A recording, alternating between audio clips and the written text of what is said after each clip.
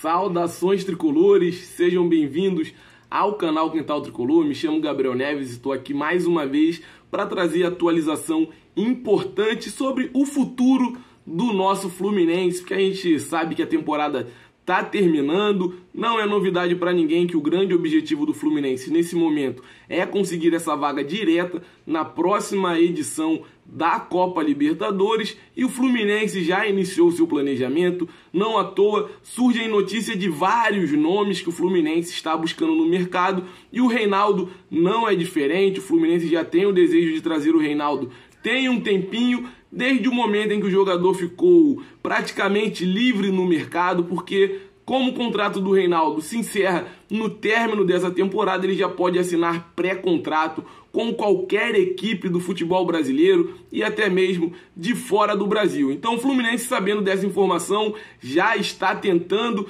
trazer o jogador para as Laranjeiras. Mas antes da gente começar a falar bastante sobre essa notícia, não esquece de estar deixando aquele like aí para estar tá dando aquele apoio aqui pro Quintal Tricolor. Caso ainda não seja inscrito, se inscreva aqui no Quintal Tricolor, é de graça, não custa nada. Não esquece de ir lá no final do vídeo tá deixando aquele comentário para a gente saber o que você achou da notícia e também de ativar o sino para não perder nenhuma notificação. Saiu o vídeo, começou live, chega aí em primeira mão para você, para você ficar muito bem atualizado sobre todas as informações importantes sobre o nosso Fluminense. Então vamos falar de Reinaldo Fluminense, como eu falei lá no começo do vídeo, não é de agora que tem interesse no jogador. O Fernando Diniz já externou esse desejo e que tem a vontade de treinar novamente Reinaldo, que é um jogador que ele já treinou nos tempos de São Paulo e ele tem muito interesse que o Reinaldo venha para solucionar uma das carências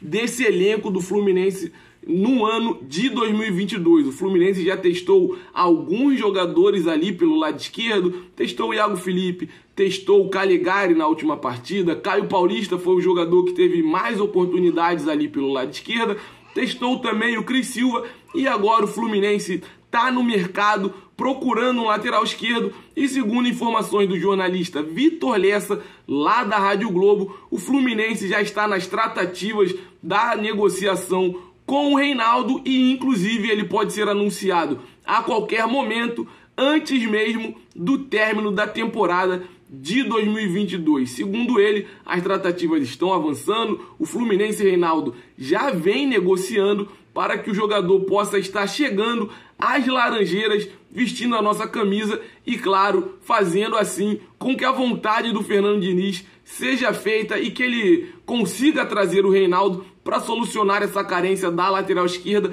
Não resta dúvida para ninguém que a chegada do Reinaldo é para solucionar um problema grandíssimo que temos pelo lado esquerdo do campo do Fluminense.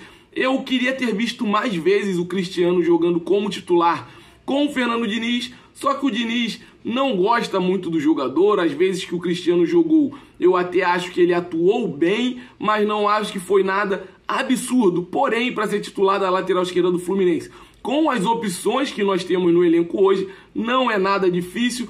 Até porque, se vocês pegarem a última partida do Calegari, que atuou até que fazendo feijão com arroz muito bem ali pelo, later... pelo lado esquerdo de campo, ele atuou numa partida normal e ainda assim conseguiu ser melhor do que o Caio Paulista, que teve uma sequência muito grande pelo lado esquerdo. Mas o Reinaldo pode estar sendo anunciado a qualquer momento e caso chegue, espero que chegue, vista bem a nossa camisa, atue muito bem dentro de campo e consiga levar o Fluminense ao rumo das vitórias, porque a temporada de 2023 promete promete muito. São vários nomes sendo especulados, só que o nome do Reinaldo é o que está mais próximo de chegar a uma conclusão final e ser anunciado pelo nosso tricolor. Muito obrigado a todo mundo que ficou aqui até o final do vídeo. Não esquece, caso não tenha curtido lá no começo do vídeo, deixa sua curtida aqui para não esquecerem. Curte aí, dá essa força aqui pra gente do Quintal Tricolor. Caso não seja inscrito,